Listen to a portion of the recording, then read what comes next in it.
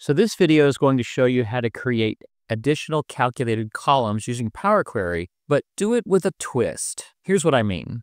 I've got data with sales rep names, cost, and sales. But what I'd like to calculate, and I'm going to do this with Power Query, is I'd like to calculate the profit, the discount, the subtotal, the tax, and the total. So I've got five columns of calculations. Now, normally this would take five steps to perform in Power Query, but I want to show you how to do this in one step.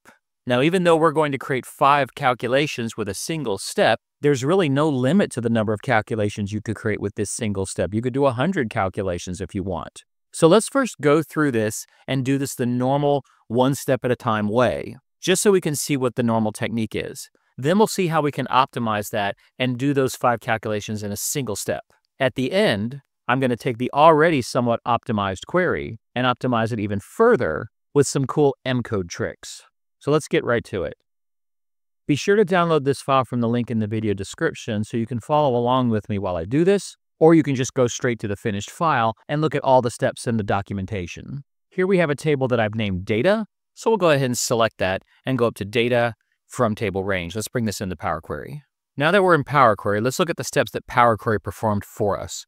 We connected to the source file, which is that table named data. We promoted the first row to a header row, and it set the data types. We'll now create the five needed calculations. So first off, profit. We'll select the sales column, hold down control, select cost, and we'll go up to add column, standard, and subtract. This creates a new column called subtraction. Now, normally you would just go up here and double click and rename this from subtraction to profit, but that's going to add an extra step in our applied steps list. Now that rename column step, that's a step that doesn't really do a whole lot. I mean, it's needed, but it doesn't really do a whole lot for me. And I don't like to have a separate dedicated step just for renaming a column. So I'm going to delete that step and go back to the step where I created the profit and just go into the M code and change the temporary name subtraction to profit. And that way we can just start with the correct name. Let's do the same thing for discount. The discount will be 10% of the sales. So we'll select sales and go up to add column, standard, multiply, and I'm going to multiply each sale by 10%.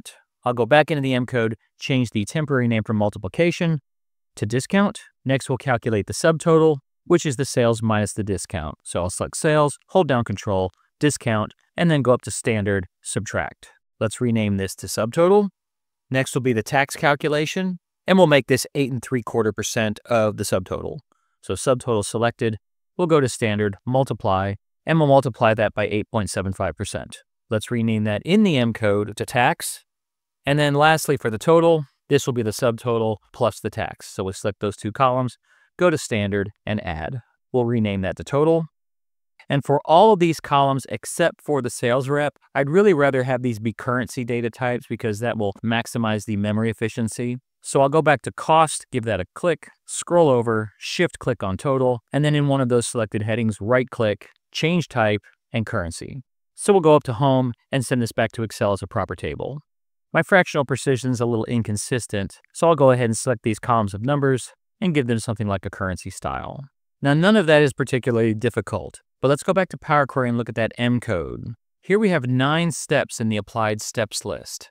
And of those nine steps, the majority of them are just in the creation of the calculated columns. Well, wouldn't it be nice if we could take all five of these and do them in a single step?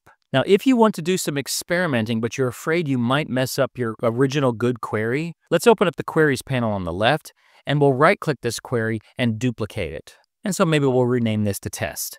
And this way we can practice without the fear of negative consequences.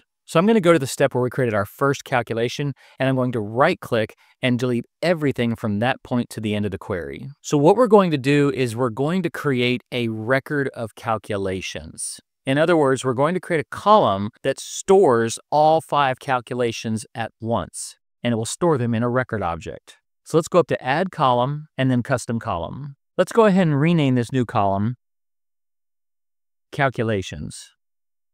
In this notepad file are the five calculations we created in the first query.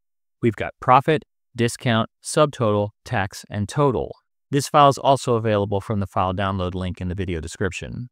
So what we're going to do is we're going to highlight all of these formulas and copy them, Control C, go into our custom column dialog box and paste them. Now you can't just paste five completely different formulas into a single query step. This isn't going to create five columns. What we need to do is create these as a record. Now all records are contained in a set of square brackets. So here I've added an opening square brackets before profit and a closing square brackets after the total formula. So this is a record of formulas. The names of the formulas will be the column headings, and the calculations will make up the row level data. We'll hit OK, and here we get a column of records. If we click to the right of one of those records, we can see the five calculations for that record. So we've got profit, discount, subtotal, tax, and total. Now you can't send records back to Excel. Excel doesn't know how to hold five pieces of information in a single cell. So we need to extract the five columns of calculations into actual columns of this table. So I'll go up to the top of the calculations column and click our extraction button. We're going to select every column in the record. We're not going to use column prefixing and hit OK. Now we've got the five extracted calculated columns. So what before took us five steps to create, we've now created in a single step. Now we did have to add a step to do the extraction, but we'll just think of that as optimization overhead. All of the extracted data has been classified with the any data type. Everything from cost all the way to total needs to be a currency data type in this example. So I'm going to go back and click cost, scroll to the right, shift click total, and then in one of those highlighted column headings, right click, change type to currency. So now I have all of these set as their proper data types. Let's go up to home, close and load, and we'll do a close and load to because I want to send this out as a proper table right next to the output of the original query. So we'll go as a table, but we'll use an existing worksheet, and I'm just going to put it here starting in column J. We'll close the queries panel, and I'll do the same type of presentation cleanup I did on the last one, setting the output data to currency data type and standardizing the column widths. So each of these tables is producing the same thing, it's just that one of them does it in fewer steps. The query on the left did it in nine steps, the query on the right did it in six steps. But the real savings was that the one on the left that took five calculation steps the one on the right took only one calculation step. Now let's talk about beautifying the code. I'm going to go back up to Data, Queries and Connections, and let's go to the test query and right-click Edit. Looking in the formula bar, we can see the underlying M code as we walk through each of these steps. Now looking at the code one step at a time, that's fine, but let's go up to the Advanced Editor. Now we can see all of the M code at once. Now my issue with M code is I don't think it's very attractive. I don't think any code is actually very attractive, so I like to run it through a beautification process.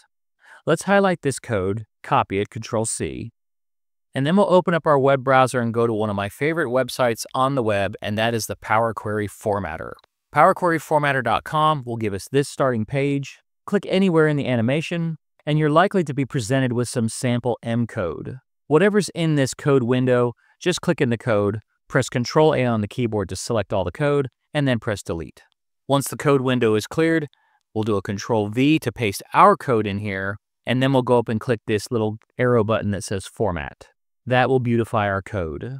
We'll go up to the copy button and copy the code, switch back to the advanced editor in Power Query, and we'll take all of our code, delete it, and then paste the code from the PowerQueryFormatter.com website.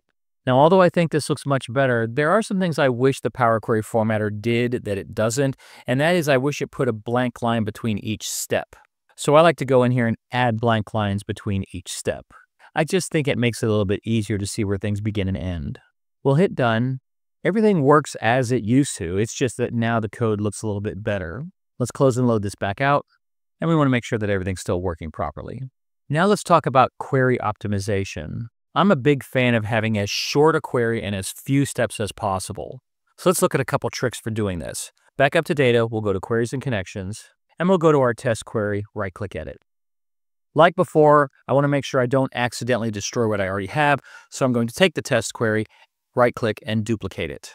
So we'll do our experimenting on test number two.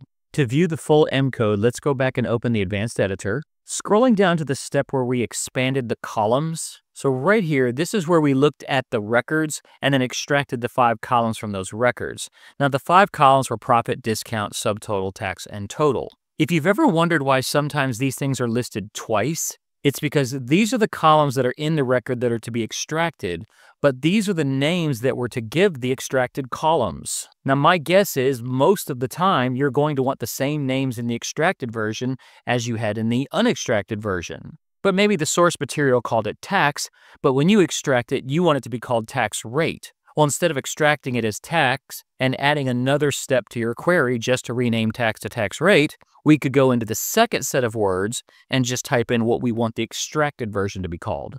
And this will effectively perform the extraction and the rename at the same time. Now, since I don't want to rename any of these, I can highlight that second version of the column names and just delete that instruction. Now, don't forget to get rid of this comma because without that extra argument, we don't need that comma at the end. So to show that this still works, we'll go ahead and hit done. I'm going to go ahead and hide my queries list. So here's when we first created the records that hold the nested calculations, and then here's where we expanded them. And notice all of their headings are just fine. Let's go back to the advanced editor. Now there is one potential problem of accepting the default names, and that is if you have a table that already contains one of these names, like if there was already a table called tax, then you're going to get an error because two columns can't have the same name. If you had these referenced a second time, Power Query would be smart enough to check the existing column names and say, hey, there's already one called tax, so we'll have to rename this new one to tax 1 or tax 2, something like that. But if you're sure you're not going to have any duplicate names and you want to accept the original names, there's no need to state this twice. Now on to my next favorite piece of code optimization, and that is when you're setting data types. Look at this step right here. We're setting cost, sales, profit, discount, subtotal, tax, and total all to the currency type. Now, if we scroll up into the M code, cost and sale were previously data typed as numbers. Sales rep was data typed as text. So really, we don't need to data type cost and sales as numbers just to turn around and change them into currency. So we could delete those because those will get data typed at a later step. So let's make sure this still works. I'll hit done. And if we scroll over, everything is still working. Let's go back to the advanced editor. So we're setting sales rep as a text data type. We could have actually waited to perform this data typing till later when we data typed everything else. So let's cancel out of this and delete that original change type step.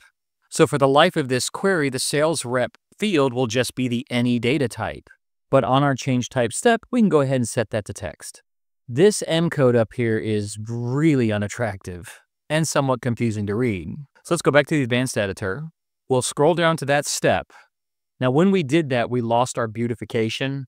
So real quick off camera, I'm going to go put this code back into the Power Query formatter, reformat it, and then start from that point. All right, this is a little easier to read. Now, to get to the point of this optimization trick when it comes to setting data types, if most of the fields you're data typing are going to be of the same data type, just data type the ones that will be different and then set a default data type for everything else. So that way, no matter what you don't define, it just becomes this default data type. So I'm going to highlight all of these fields that are of the same data type and delete them. So sales rep will be a text data type, but everything else will be a currency data type. So here's a list of data types, and inside there is a single data type declaration. After that list, after those curly braces, we're going to type in a comma and then type in currency.from. This will be the default data type for all undefined fields. Now there is one catch to this. This technique of assigning the currency data type using currency.from, we can't mix that with the standard data typing technique where we just explicitly declare a data type. It has to be derived. So we're going to change this sales rep data type from type space text and we're going to use the text.from function. So sales rep will get the text.from to get its data type, and everything else will use the currency.from to get the currency data type. Let's hit done and make sure it works. Now, as we can see, it did not work properly. Now, I invoked this error on purpose because I wanted to point out a trap. Understanding that sales rep will be derived from text and everything else will be derived from currency, this logic works. Unfortunately, it doesn't work with this function, table.transform column types, because that's expecting standard data typing. So what we have to do is we have to use a different kind of function called table.transform columns. So we just have to change the function that we're using to assign data types. So if you're getting this error, it's because you did not change the function that's actually doing this work. Let's give that a check and now everything works properly. So walking through the process, we connect to the source file, promote the header row, add all of those formulas in one shot, but those get stored in as records. We expand the records using the default column names, and then we set the data types where sales rep gets text and everything else gets currency. So if you want to cut down on the list of steps in your query and you're performing successive calculated column creation steps like profit, discount, subtotal, tax, and total, consider wrapping all those things together into a single step that creates a list of records, and then just expand the records out. Here's our final M code. Of course, it was run through the Power Query formatter to beautify it, but it's almost half the steps of the first pass query. I don't think this is going to make your query run any faster, but for me, it helps beautify it. And I'm all about trying to make ugly code beautiful. Let me know what you think about this in the comments, and don't forget to download the sample files. Thanks for watching, and remember, at BCTI, the learning never stops.